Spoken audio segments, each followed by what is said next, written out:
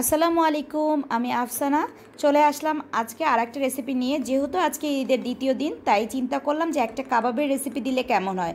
কিন্তু আজকে কিন্তু মাংসের কাবাবের রেসিপি দিচ্ছি না, দিচ্ছি মাছের কাবাবের রেসিপি তো চলে যাচ্ছি আমরা কীভাবে তৈরি করছি দেখতে। চলেন যাই রান্নাঘরে। আমি প্রথমে পাঁচ পিস রুই মাছকে একটু হলুদ লবণ দিয়ে সিদ্ধ করে নিয়েছি এবং আর কিছুই দেওয়া হয়নি। সিদ্ধ করে নামিয়ে নিচ্ছি। এখন সেটাকে কাটাটা বেছে ফেলব। এরপর কাঁচা কলাকে আমি একটু লবণ দিয়ে সিদ্ধ করে নিয়েছি। এখানে একটা কাঁচা কলা, বেশ বড় সাইজেরই। সো এরপর আমি যেটা করছি, দেখিয়ে দিচ্ছি। কাঁচা কলাটাকে ম্যাশ করে নিয়েছি। এক স্পুন লবণ দিয়ে দিচ্ছি। এরপর হাফ টি স্পুনের মতো আমি যেটা দিব, সেটাও দেখিয়ে দিচ্ছি। আমি রসুন বাটা দিয়ে দিচ্ছি। হাফ টি স্পুন আদা বাটা দিয়ে দিচ্ছি। হাফ টি স্পুন জয়ফল বাটা দিয়ে দিচ্ছি। হাফ টি স্পুন গরম মশলা গুঁড়ো দিয়ে দিচ্ছি। হাফ টি স্পুনের থেকে কম জয়ত্রী বাটা দিলাম। এবার আমি যেটা দিব সেটা হচ্ছে শুকনো মরিচের গুঁড়ো দিব। এটা একটু বেশি দিব, টু স্পুনের মতো দিচ্ছি, কারণ এখানে ঝালটা অনেক ভালো লাগবে, তাই। এখন আমি ভাজা জিরার গুঁড়ো দিয়ে দিব।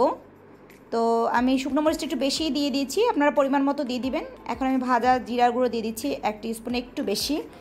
এরপর আমি যেটা করছি সেটা কিন্তু কাবাব মশলাটা দিয়ে দিচ্ছি একটু।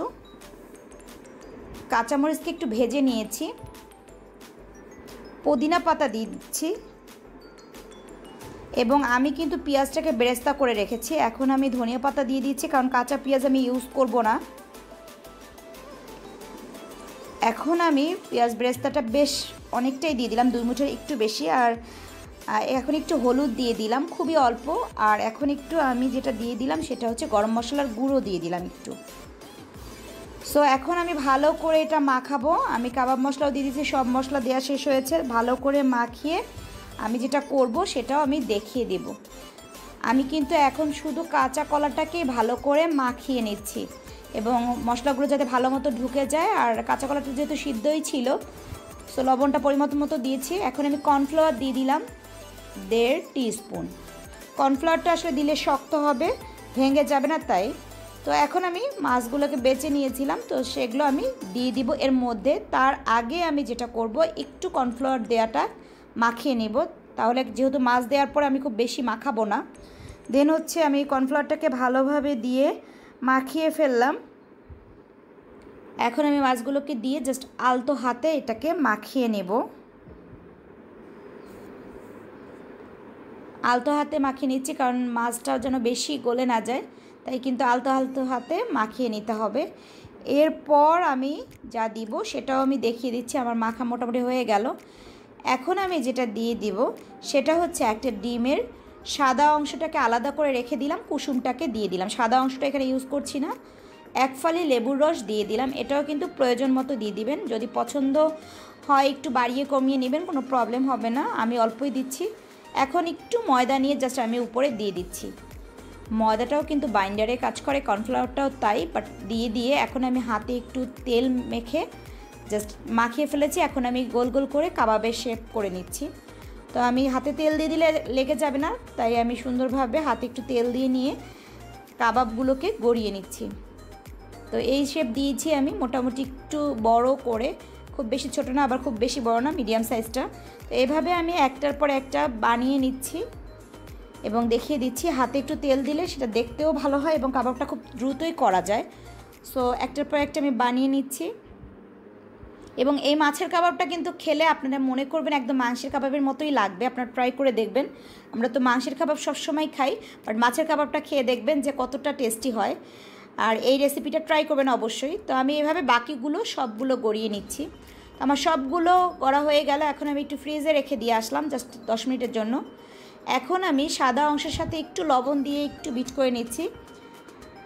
আর এখন চুলোয় আমি একটা কড়াই বসিয়ে দিয়েছি। আমি কিন্তু লোহার কড়াই ইউজ করি ভাজাভাজিতে অনেক বেশি, কারণ এটা আমার অনেক আগের কড়াই। সো কেউ কিছু মনে করবেন না, এটাতে ভাজলে অনেক অল্প তেলেই ভালো ভাজা হয়। সো তেলটা গরম হয়ে গেছে, এখন আমি কাবাবগুলো একটার পর একটা ডিমে ডুবিয়ে তেলে দিয়ে ভেজে নিচ্ছি। তো আমি আস্তে আস্তে সবগুলো দিয়ে দিব। এই কাবাবটা কিন্তু খুবই টেস্টি হবে, আপনারা তৈরি করবেন, আমাকে জানাবেন কেমন হচ্ছে। এবং ভালো লাগলে অবশ্যই লাইক, কমেন্ট দিয়ে সাথে থাকবেন আমার। এবং চ্যানেলটা সাবস্ক্রাইব করে রাখবেন, আর বিভিন্ন ধরনের রেসিপি অবশ্যই লাইক দিয়ে রাখবেন। সো কাবাবগুলো কিন্তু লালচে কালার ধরে গেছে, আমি এখনও উল্টিয়ে দেইনি। বাট একটু পরে আমি একটু পরেই উল্টিয়ে দিব, এবং জালটা কিন্তু মিডিয়াম রেখেছি, খুব বেশি হাই না, আবার লো না। সো এখন আমি আস্তে আস্তে একটু সাইড থেকে সরিয়ে দিচ্ছি, এবং উল্টে দিব আস্তে আস্তে। সো আমি চারটা চারটা করে ভেজে নিচ্ছি। লাল হয়ে যাচ্ছে। সো এটা খেতে খুবই সুস্বাদু, একদম মাংসের কাবাবের মতোই মনে হবে। তো আপনারা অবশ্যই ট্রাই করবেন এই কাবাবের, কাবাবটা। এটা এই জন্যে আমি ঈদের মধ্যেই দেখিয়ে দিচ্ছি, যাতে আপনাদের যদি রুই মাছ ঘরে থাকে বা কাতলা মাছ থাকে, আপনারা করে ফেলতে পারবেন। তো আমার মোটামুটি কিন্তু লাল হয়ে এসছে এবং আমি কিন্তু খুব বেশি কড়া ভাজবো না।